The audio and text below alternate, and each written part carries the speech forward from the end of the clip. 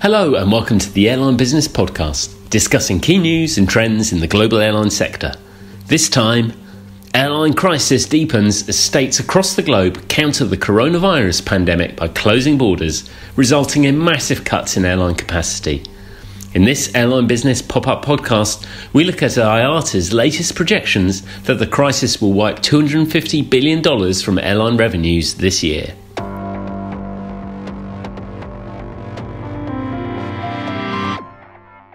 Joining me as ever is uh, my Airline Business uh, co host, uh, Lewis Harper. Hi, Graham. How, how, are you? Yes. Well, it's it's definitely uh, definitely different and very strange. How are you doing, Lewis? Of course, we are separated. We are. Yeah, yeah. I'm doing okay. Obviously, uh, I think before we kick off, it's important to say, obviously, our thoughts are with everyone directly and indirectly impacted by this. Um, obviously, we know uh, in the airline industry, a lot of people are losing their jobs or and in the wider aerospace industry as well, but also under the threat of losing their jobs. So yes, uh, we've worn out the word unprecedented, I think already, but it, it certainly is a, a, really tough time for, for so many people at the moment. But um, but yeah, there's still a, obviously um, since the last pod, there's, there's a lot to talk about, isn't there? It it is, and I think in in, in our last pod we were talking about the things were sort of getting getting serious. It was, uh, you know, around that point that that parts of Europe were really starting to be to be hit by by the outbreak, and it, you know, I think clearly now that, that it's a fully global issue, and and the, the speed with which it is spreading and, the reactions of, of government has governments have spread to counter it is uh, extraordinary. It is. So we we, as you say, last time we spoke, it was um, uh, still more kind of felt like uh, an issue for, for Asia, although it was obviously beginning to impact um, Italy. And obviously, since then, um, Europe has essentially become the, the, the epicenter of, of the outbreak. Um, so, as a result of that, yeah, we, we've we've seen um, Europe sort of becoming the, the, the region that is most impacted in terms of connectivity, I think, and and figures we've seen today from IATA kind of bear that out. Um, we have been obviously on flightglobal.com, which is um, running as usual, full of all, all, the latest news and analysis on this. Where we've seen you know airlines across the region really getting to the point now where where very few of them are are operating any flights at all. Really, I think it's fair to say. It's. I mean, you, you're looking at the low cost carriers, though the, the the big giant. You know, Ryanair is virtually not operating any flights at all. EasyJet virtually none.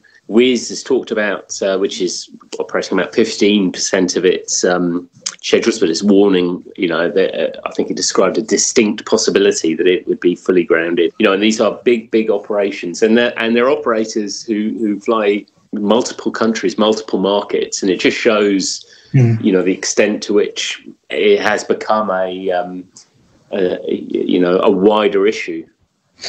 Yeah, and then into obviously other markets in in North America, um, I don't think connectivity isn't down quite as, as severely, but um, it's kind of feels like it's heading that way. So there is still a bit more kind of domestic um, mm. activity in, in, in the US, um, some in Canada as well. Obviously, in, in Asia, Asia Pacific, we've um, we're seeing um, a lot of this. Obviously, is being driven by the the how the virus has spread. So it's it's very much um, hitting Europe and the US hard after hitting Asia earlier on. But of course, we're also seeing the impact of people whose home is in the Asia Pacific region now returning from from regions where where there's um, very high cases of, of coronavirus, which is again causing a, a slight spike in, in cases back in um, Asia Pacific. So, um, and you know, the, the, impact goes all the way from where we are to, to Australia. Obviously, you've seen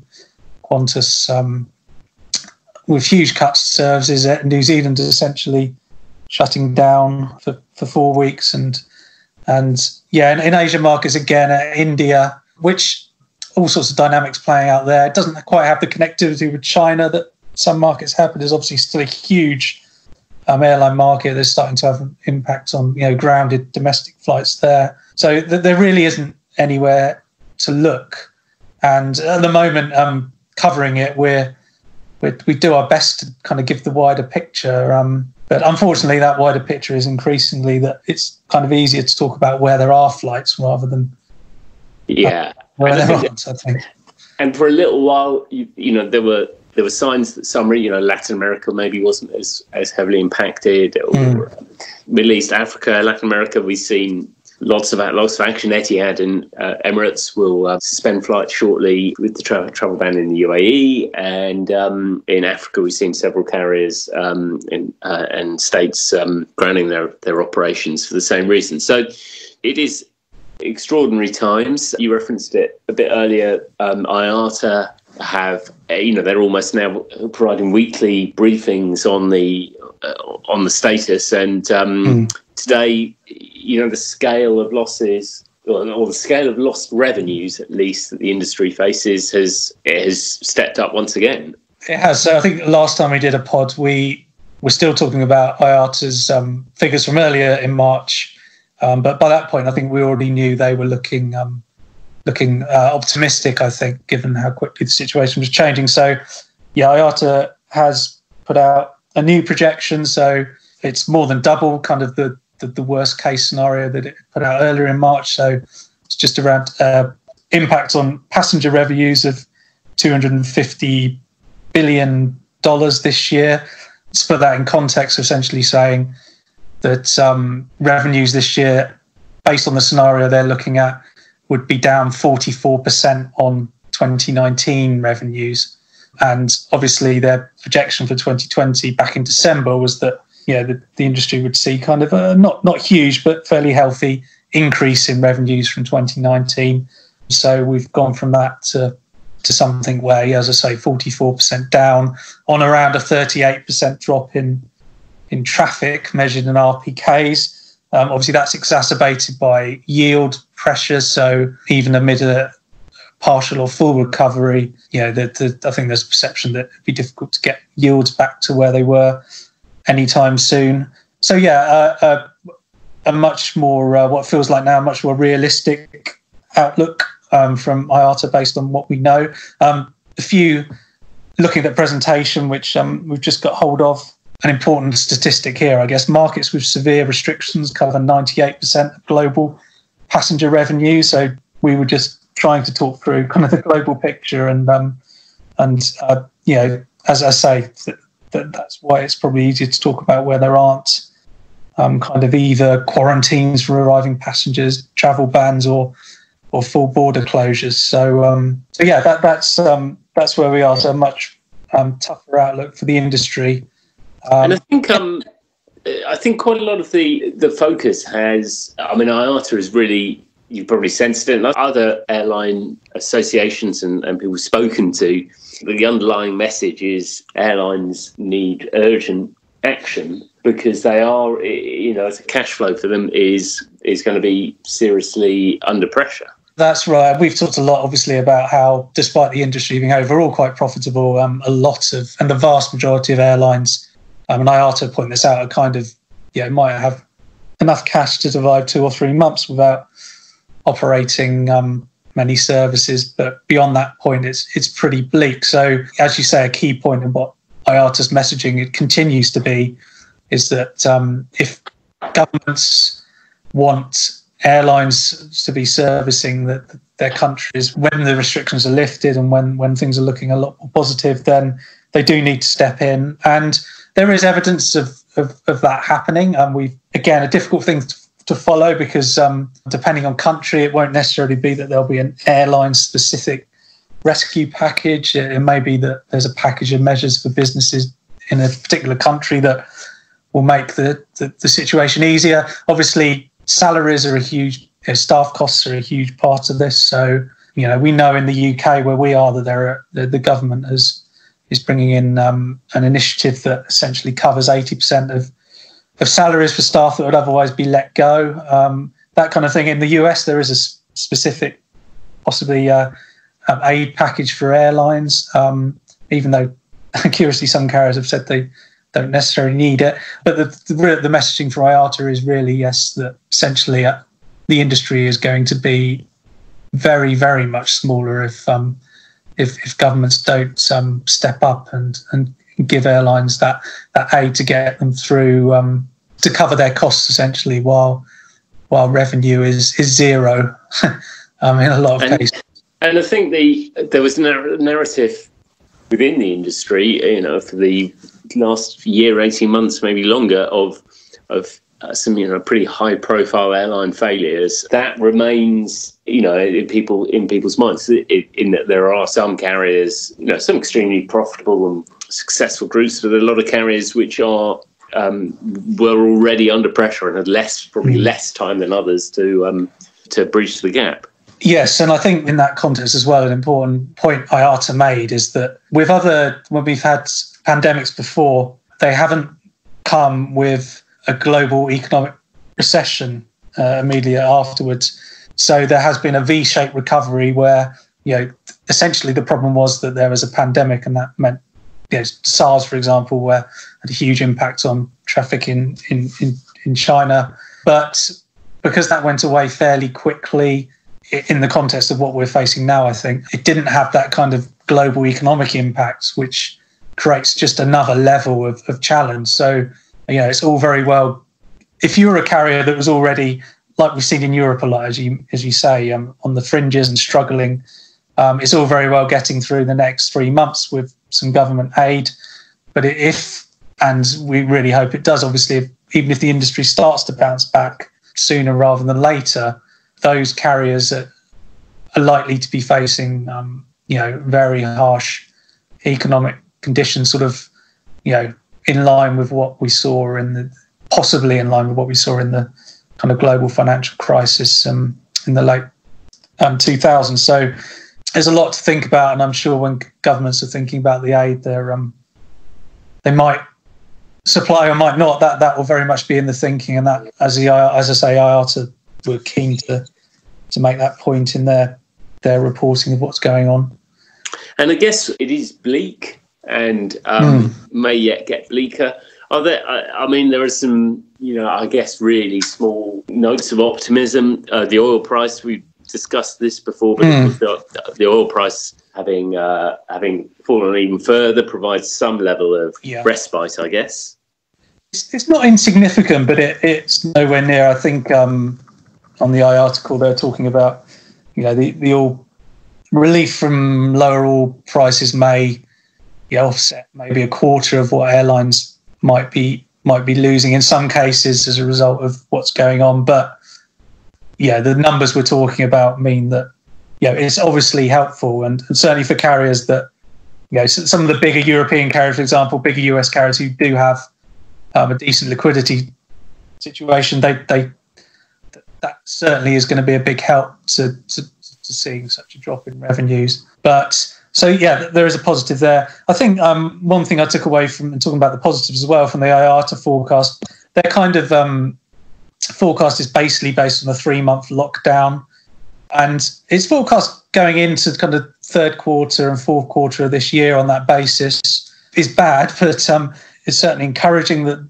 they may, for example, in the fourth quarter, they're only, they're looking capacity being down 10% globally across the board based on their current outlook. I think in a lot of cases, certainly personally, I think I'd take that now. I think if I if I knew that was definitely going to be the case, because um, you don't have to read much around what's going on to know that you know there are uncertainties in in both directions, really, whether that be things could get better quicker or things could go on much longer. But um, but yeah, and also in, in specific markets, uh, we look at China. So in the Chinese domestic market, a lot of caveats around this, but certainly IATA were keen to point out that they're already seeing some improvements there. So, so I think in February, capacity was down about 50%. We're looking at figures now in March down about 30% year on year. Um, yields are improving. IATA put some figures out on that. Um, d- demand is is is is getting better. So we're looking at a sort of 60% in terms of load factors in that market and yeah, the, the generally, um, Brian Pearce, the IATA chief economist, said you know they are getting reports in that that market is improving. So some good news there. Obviously, IATA very keen to point out that the caveat is that that picture isn't being reflected in many other places. But um, given that China was obviously naturally first hit by this, it's encouraging to see that a market might be starting to bounce back. Obviously, um, we know that China's got the space to have a huge domestic market. There are challenges elsewhere. And I think we know because a lot of what's going on involves borders being shut down, which makes it impossible to fly to other countries. Um, for operators who don't have that big domestic market, um, again, I don't think there's much point in looking or guessing what's going to happen too far down the line um, in terms of specifics. But certainly, an interesting trend to watch might be whether some of the carriers that are able to serve maybe intra-European, for example, or as we've seen in the North American markets, um, where they don't have to cross national borders, or where those national borders uh, are slightly um, less significant, like in the EU, for example, there may be um, a path to recovery slightly there. I think the the the international flights are going to be the the truly international flights are possibly where when you start to see recovery there, I think we know we're um, we're on the right path. But but yeah, as I say, there's we're um, um, it's nice to focus on a positive story in China, but obviously, caveat clear caveat is that um, certainly in Europe and the US,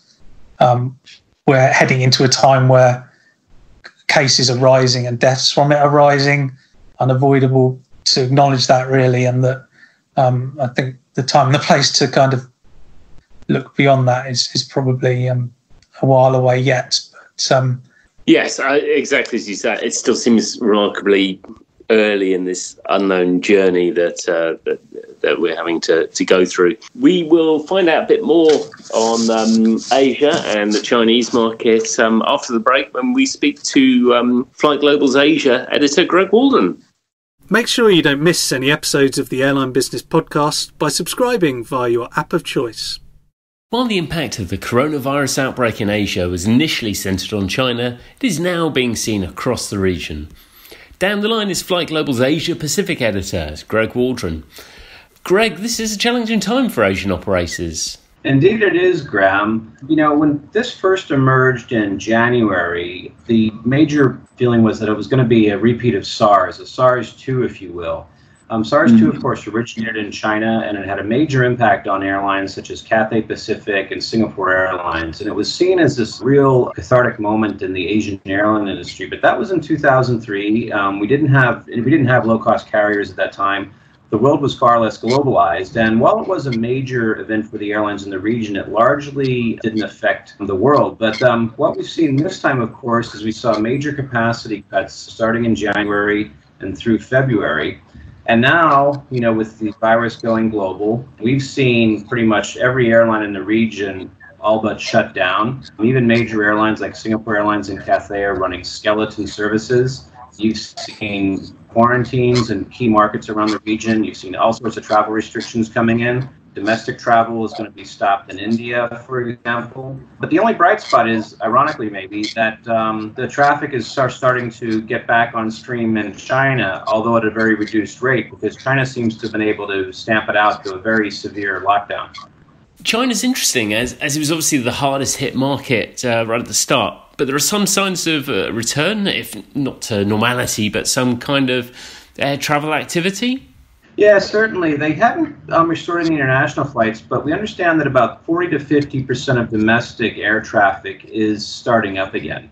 And so, you know, it is slowly um, getting back on its feet, and that's but that's of course after very draconian um, um restrictions. Um, one thing I'd like to point out is on a, on a normal month, China generally accounts for a quarter of new aircraft deliveries on a global basis. Um, but there were zero aircraft delivered to Chinese airlines in February, which is astonishing. But I think it really highlights, you know, the impact um, that this is having on, uh, has had on China and has had on the aerospace and aviation industry. And the point you made earlier, Greg, is an important one because uh, compared to when SARS happened originally, the Asian market is uh, is, is far more connected and, and much larger now, isn't it?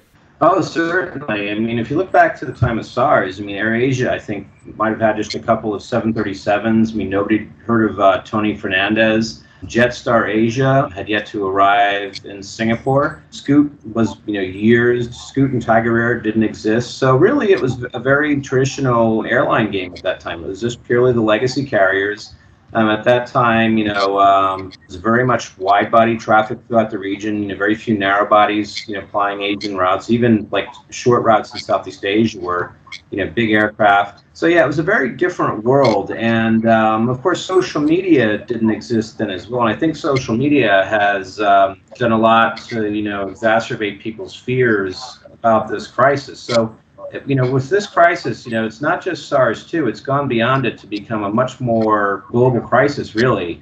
And that is something I can't say that we expected in Asia before it went global like this. It's, it's a real black swan event for the world.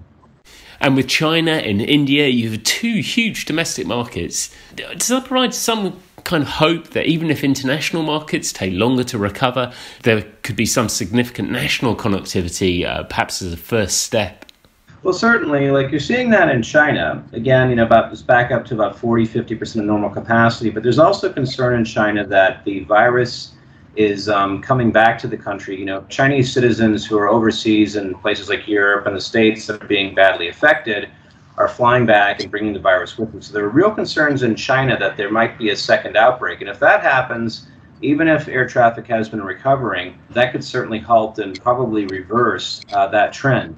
Um, as for India, India has just recently, I think like yesterday, shut down its domestic traffic, or said they will. I think it's going to be shut down on the 25th.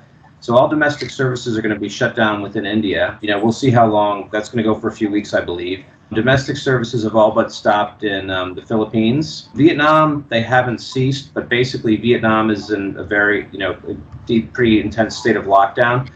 You know, so really, I think it's going to be a long time before we're anywhere back to anything remotely resembling normalcy on the domestic in countries where there's a big domestic market.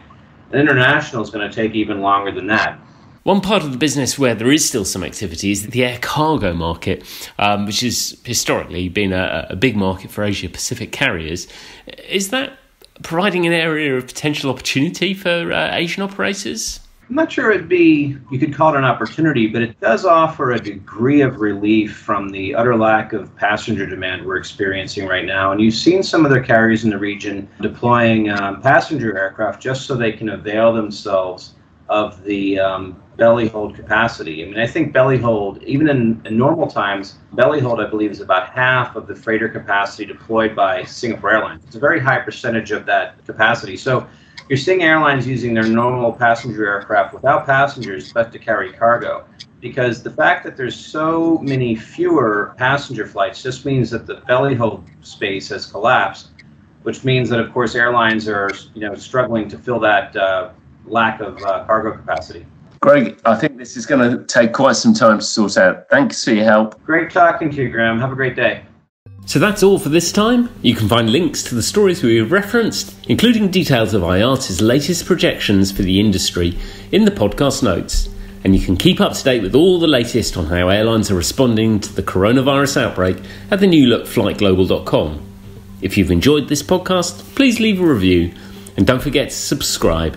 And we'll see you again next time.